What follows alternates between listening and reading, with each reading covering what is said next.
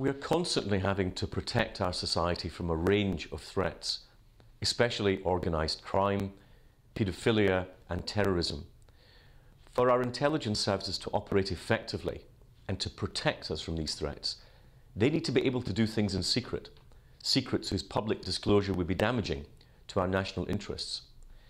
When Edward Snowden stole files and took them with him to China and then Russia, some 58,000 files came from GCHQ, information that had played a vital role in preventing terrorist outrages in Britain over the past decade and longer. It was not freedom fighting.